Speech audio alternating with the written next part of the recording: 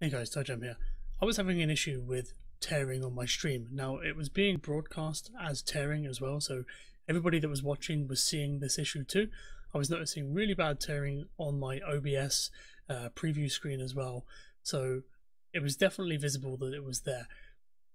I tried lots of different things before I finally found the solution, and the solution is relatively simple. Now, before we carry on, I just want to make it clear that I'm actually using a streaming rig, as I said, and I'm using a capture card. Now, I use an external capture card, which is actually this one here. Yeah, not an advert. But um, yeah, so I use the AverMedia LGP Lite.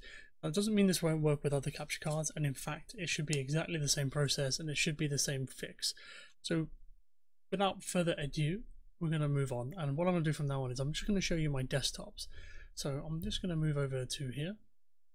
Now, what you can see here is the main background there where you have OBS and my um, uh, you know PC Master Race background there.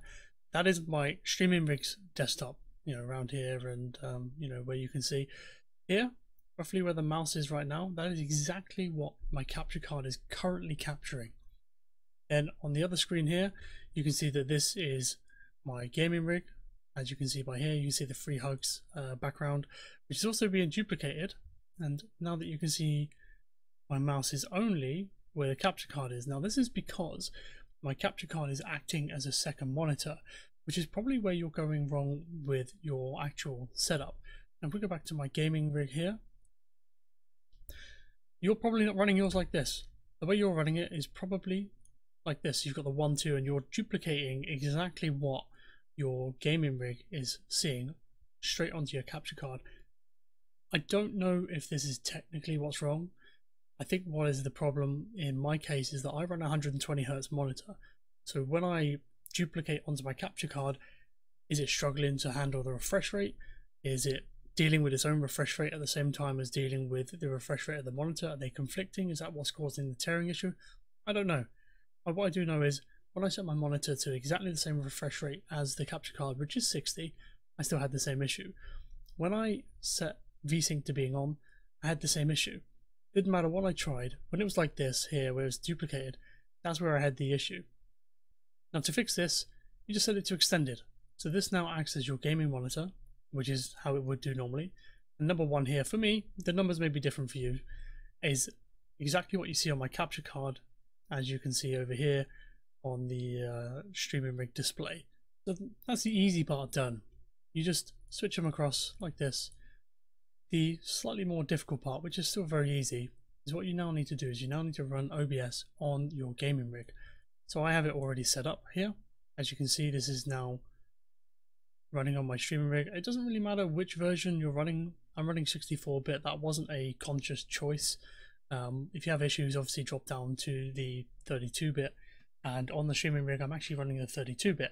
It doesn't matter because these two versions of OBS do not communicate whatsoever. There's literally no interaction with them at all. So to set this up, we usually create a game capture source, window capture or display capture, however you choose to do it. Now bear in mind that game capture is the most efficient and I think it's window capture next and then display capture. Now for for uh, information's sake here, is exactly how I have it. Capture any full screen application and I have the use anti-cheat compatibility hook on. I also have this turned off for Steam and Origin and Ubisoft or whatever you want because that makes it easier for me to respond to messages that get sent to me on Steam without showing them on Steam just in case something questionable is said to me in a Steam message to try and get onto the stream. So once you've done that, now please ignore these here. You know, realistically, these don't all exist. This here is just the gaming rig thing here, just so it makes it easy to distinguish which is which while you're watching and while they're side by side, for example you just looking at this, you don't need to have your microphone on, don't need to have desktop audio on whatsoever. All we need to do next is just right click this, set a scene, whatever you've called it, full screen projector, and then set it over. Now, I want you to pay attention to the streaming rig desktop, which is currently got the capture card overlay. Now, the capture card overlay, as you can see, it's just the picture of a background. Normally, you would have that full screen in your OBS to display.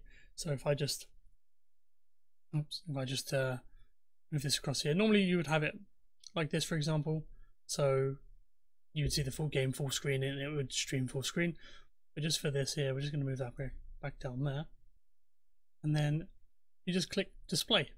Now, as you can see, this here now is capturing what is being duplicated onto the capture card. So if we go back over to here, it's simply this and this. If you bear with me while I load a game.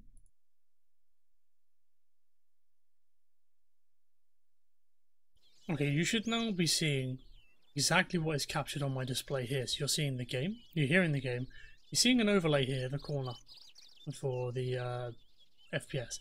If I do Shift Tab, you're seeing everything that's on my display. If I Alt Tab, you're going to see all of these little things here that I'm currently using.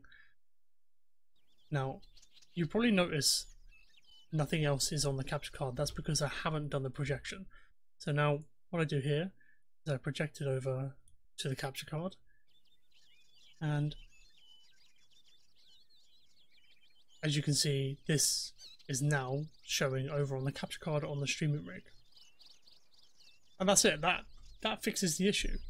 It's very simple uh, when it comes to audio, you just do it in the same way that you were doing it before, whether that was um, using Voicemeeter Banana to push it into an audio source, if you were doing it how I do it, which is by 3.5mm splitter through the 3.5mm jack on the actual capture card, or if you just simply have a, an option in your recording settings in Windows to listen to a certain device on another device, which then transfers it over. And that's pretty much it, guys. That is, is very simple to do. It fixes the tearing issue. Uh, let me just close out of this one second. And you'll notice down here that my CPU usage is relatively low. Okay. Um, this is because I'm recording. When you're actually using this OBS on your gaming rig and you're not encoding because encoding because you don't need to press start streaming, stop recording, uh, start recording, or do anything whatsoever. It's purely a visual thing, and for using the projector here. Um, for me, on an i7 2700K at 4.2 gigahertz overclock, it's 2% CPU usage, which is negligible, pretty much. I don't notice any issues whatsoever. So let's just get just my face back. Here we are. Um, that's it guys, it's very simple to do. If you have any questions, drop them in the comments below. If not, then come and find me on my Twitch channel and ask me some questions there because I'm more than happy to oblige. And if I'm not very busy, I'm more than likely switch out the scenes and show you what you're probably asking for anyway. Okay, that's it, thanks.